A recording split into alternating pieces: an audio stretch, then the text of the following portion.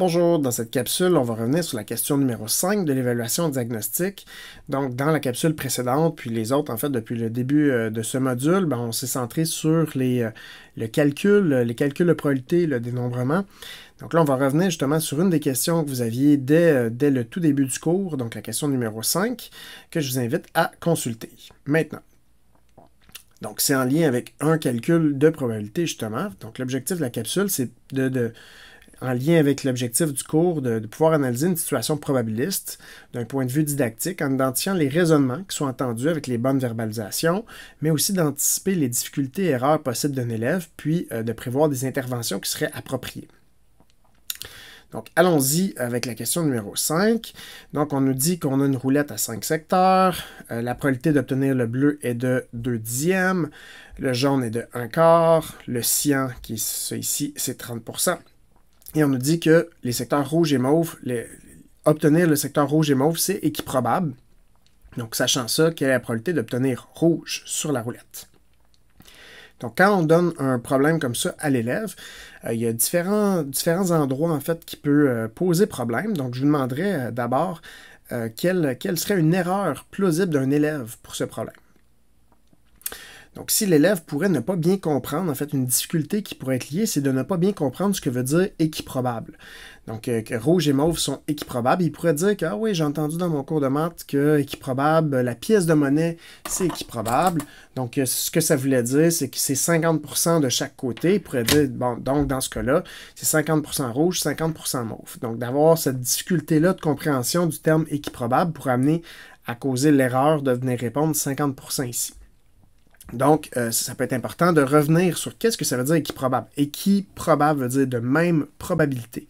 Il faut prévoir aussi dans ce cas-là des, élèves qui auraient des, erreurs, des, euh, qui commettraient des erreurs liées à des difficultés sous-jacentes, ben, d'avoir des questions de relance qui sont prêtes. Donc, OK, tu me dis que c'est 50%, ben, ça voudrait dire quoi un D qui serait équiprobable? Est-ce que toutes les faces sont de 50% aussi? Ah, déjà là, ça devrait peut-être je suis pas sûr que l'élève dira oui, c'est 50% chacune des faces. Donc, d'avoir des questions de relance comme ça, ça peut être bien. On peut recourir justement à du matériel concret au lieu d'être comme ça dans, dans les heures d'utiliser euh, des roulettes ou des dés, tout ça, d'utiliser du matériel concret, des pièces de monnaie pour revenir sur ce genre d'intervention-là. Puis, dans ce cas-là, avoir un regard critique. Parce que des roulettes, on va souvent trouver des roulettes, euh, par exemple, commerciales, qu'on peut utiliser en classe, mais les roulettes, souvent, sont équiprobables. Donc, il va y avoir 2, 3, 4, 5 secteurs, mais euh, toutes avec la même probabilité. Donc, si, si je veux avoir vraiment une roulette qui a exactement cette composition-là, euh, c'est pas, pas sûr du tout que je vais pouvoir l'avoir. Donc, on verra tout à l'heure que les outils technologiques peuvent nous aider par rapport à ça. Euh, donc, si on, veut résoudre ce problème-là, donc, une des premières choses qu'on veut, faire, c'est de tout mettre euh, dans la même, euh, la même écriture, la même notation, en fait. Donc, si j'ai ici trois probabilités qui peuvent être écrites sous forme de nombre décimal, de fraction, de pourcentage, mais ici, pour être capable de travailler avec ces nombres-là, c'est peut-être plus facile de les mettre dans la même notation. Donc, on pourrait décider de les mettre les trois en nombre décimal, les trois en fraction, les trois en pourcentage. Ici, j'ai décidé de les mettre en pourcentage, donc deux dixièmes qu'on écrit comme ça en notation décimale, deux à la position des dixièmes, ben, on peut justement l'écrire sous forme de deux dixièmes comme ça en fraction, ce qui revient à 20 centièmes. Et là, un pourcentage, c'est rien de plus qu'une fraction sur 100, dans le fond. Euh, donc, c'est une façon de l'écrire comme ça. Le symbole veut dire pourcent. Un quart, je peux faire la même chose, mettre cette fraction-là, la mettre sur 100. Donc, pour avoir la fraction équivalente, un quart, ben, ça me donne 25 centièmes. 25 centièmes, c'est 25% Et là, ça facilite le problème parce que là, je sais que j'ai 20% pour mon bleu, 25% pour le secteur jaune et 30% pour le secteur cyan. Après, ce que je veux savoir, c'est le secteur rouge. Mais là, il manque deux. Euh, j'ai deux inconnus ici, mais on me dit qu'ils sont équiprobables. Donc, dans ce cas-là, puisqu'elles sont euh, ces secteurs-là sont équiprobables, ça veut dire qu'ils ont la même probabilité. Donc, je vais regarder qu'est-ce qui manque pour avoir mon tout. Mon tout, je sais que c'est 1 ou 100% si je suis en pourcentage. Donc, j'ai ici 45%, 75%. Et si j'ai 75%, il me reste 25% ici à répartir également en mon secteur rouge et mon secteur mauve, donc chacun 12,5 Donc finalement, si je voulais faire l'écriture mathématique, ma probabilité de mon rouge, donc la probabilité d'obtenir rouge, ça va être égal à le 100 euh, moins, moins la, probabilité de ce que je connais déjà, là, ici, mon secteur bleu ou jaune ou cyan. Puis, quand je vais faire la soustraction des deux, ben, je vais devoir diviser par deux, puisque mes deux secteurs restants sont équiprobables. J'ai remplacé ici, puisque ce sont des ou, j'ai les additionnés. Hein, la probabilité d'avoir bleu ou jaune ou cyan, ça revient à les additionner parce qu'ils sont euh, mutuellement exclusifs. Donc, je peux simplement les additionner par la, règle d'addition avec le ou. Et là, à ce moment-là, ben, je peux faire euh, le, le reste de mon calcul comme je l'ai dit. Donc, ici, euh, et là, le fait, quand, quand on fait la division par deux, je pense que c'est important de rappeler justement ce que veut dire équiprobable.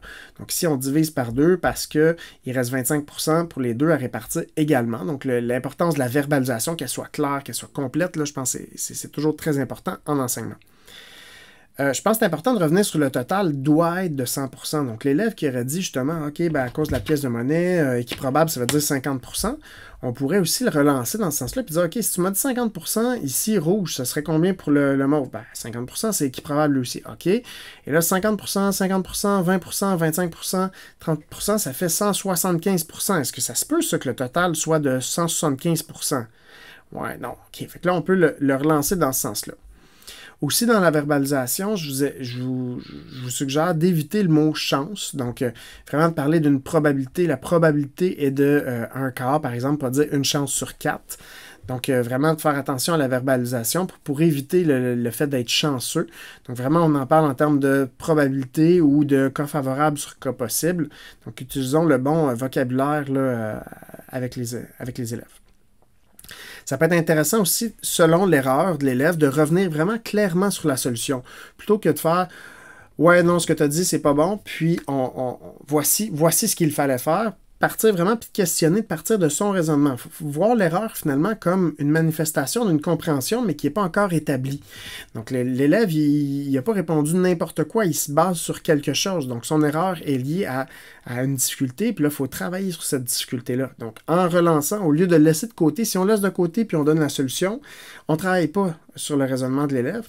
Donc plutôt en, l'amenant à réaliser en fait que, euh, que, que ce qu'il faut faire, en fait, la, soustraction, puis après ça, la diviser par deux, euh, ben, ça, ça va l'aider, en fait, euh, en fait, pour l'amener là, si on est capable de le guider, puis de, poser des, questions, en fait, pour l'amener là, de le relancer jusque-là, ça va être beaucoup plus payant là, sur la compréhension que juste lui dire, voici la solution. Donc là, selon son erreur, euh, là, moi, j'ai pris l'exemple de si c'était 50%, mais si pourrait y avoir une erreur arithmétique. Ça pourrait être en additionnant ça ici, par exemple, 30%, euh, euh, un quart, il a bien écrit 25%, mais 0,2, il a fait comme si c'était 0,2%. Et là, il a mis 30%, 25%, puis 0,2%. Donc, à ce moment-là, l'erreur n'est pas probabiliste, en fait, est arithmétique. Donc, c'est, euh, ça, serait de, ça serait de retravailler, en fait, la conversion d'un nombre en notation décimale en euh, pourcentage. Donc, on repart de ça, on questionne, puis on, pour, amener l'élève à, comprendre son erreur, puis à être capable de comprendre par lui-même. Ça peut être intéressant aussi de saisir l'opportunité de revenir sur la loi des grands nombres pour faire des liens avec le domaine des statistiques. Donc, si on a vraiment une approche théorique, on est sur le calcul, mais ça peut être intéressant de dire, OK, ben, et si on, réalisait des essais? Et là, ben, on est limité par la, roulette ici, qui n'existe pas nécessairement la roulette physique avec vraiment ces, ces grandeurs, ces secteurs-là qu'on cherche. Alors, je vous propose la ressource du jour d'aller explorer la roulette virtuelle puis d'essayer de, reproduire en fait cette roulette-là dans les, euh, avec les, informations qui nous sont données. Donc je vous invite à explorer la roulette virtuelle. Donc maintenant, on va aller, je vais y aller avec, euh, je, vais vous montrer pour comparer avec des essais réalisés avec un simulateur, vraiment dans l'idée d'articuler les approches euh, théoriques et fréquentielles.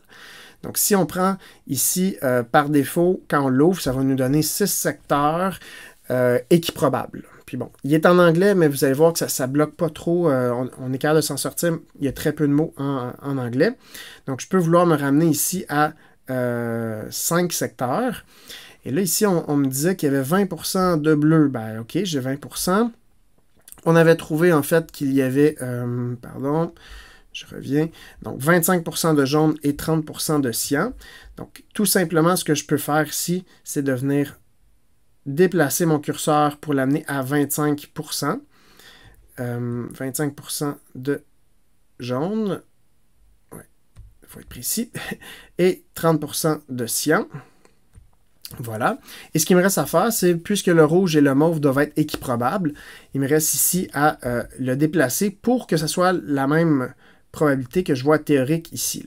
Donc, je dois le déplacer et là, je me rends compte que c'est à 12,5 et là, je respecte toutes mes conditions ici qui m'étaient données. Donc, 2 dixièmes qui est 20% de bleu, euh, un quart qui est 25% de jaune, 30% euh, de cyan, puis équiprobable pour rouge et mauve. Donc, ça me donnerait ici ma solution sans que je fasse de calcul apparaît à ce moment-là 12,5 Mais ici, le but, ce n'était pas de, retrouver la, probabilité, mais plus de comparer. Euh, donc, si j'ai théorique, mais je vois que je peux réaliser des essais ici pour expérimental. Donc, je peux faire un essai à la fois, comme ça. Et là, j'ai eu un jaune, il va le compiler. Et je peux continuer, faire un autre essai. Je pourrais décider ici de faire trois autres essais qui va faire successivement. Donc j'ai eu un jaune, un cyan, il a ajouté un deuxième cyan, il va repartir tout seul, un mauve, il va repartir, il va faire un mauve encore. Et là, je pourrais dire, bon, parfait, maintenant, fais-moi-en... Euh, euh, j'ai maintenant 5, et là, je pourrais décider d'en faire, tiens, 995 de plus pour que ça fasse 1000. Et là, je ne vais pas attendre qu'ils fassent un à la fois, je vais tout de suite aller à la fin, skip to end. Et voilà, ils sont faits. Donc, j'ai maintenant mes 9, euh, j'ai 1000 essais qui ont été réalisés. Je vois ici l'effectif, donc le nombre que j'ai eu de chacun. Puis je, peux comparer maintenant, ça, me calcule automatiquement la fréquence, dans le fond, la fréquence qui est le rapport entre l'effectif et le nombre d'essais. Donc 212 sur 1000 donne 21,2% Et je peux comparer expérimental avec théorique. Donc, il va me dire ici, euh, j'aurais dû avoir 20% en théorie, j'ai eu 21,2% de façon euh, dans l'approche fréquentielle en réalisant des essais. Donc, je peux voir que je suis assez proche, à quelques pourcents d'écart. Euh, si je faisais encore un autre 1000 de plus, ben, je, m'attends à ce que ça soit de plus en plus près ici. Donc, je peux faire à coup de 1000 comme ça. Donc, je suis maintenant rendu à 5000 essais et là, ça commence à être pas mal proche. Une autre façon intéressante aussi, je peux faire un reset pour le ramener à zéro.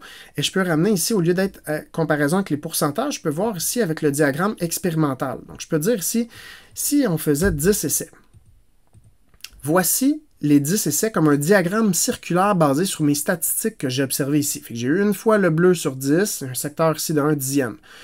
3 fois sur 10 le jaune, 3 dixièmes, etc. Là, je peux voir que ça ressemble quand même, mais tu sais, bon, le, rouge ici prend une place assez importante. Je l'ai obtenu deux fois. Donc, j'ai obtenu plus souvent le rouge que le bleu, alors que normalement, le rouge devrait être plus petit que le bleu. Donc, ça, ça, se peut. Ça montre que sur un échantillon assez restreint d'essais, ben, je la tendance n'est pas si fiable que ça. Tandis que si je faisais 100 euh, essais de plus, par exemple, ah, ça se, rapproche quand même. Puis, euh, disons, 1000 essais encore de plus.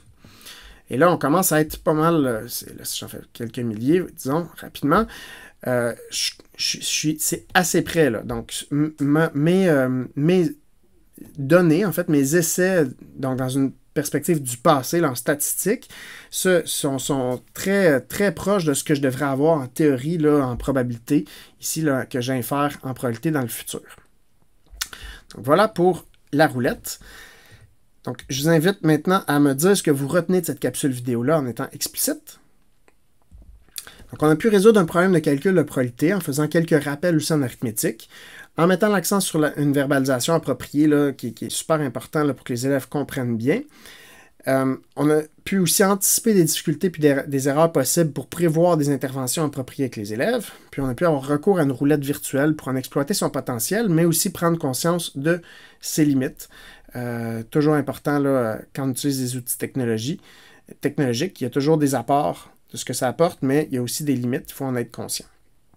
Donc, euh, à la prochaine, à la prochaine capsule, je continuerai avec des difficultés, des difficultés d'élèves.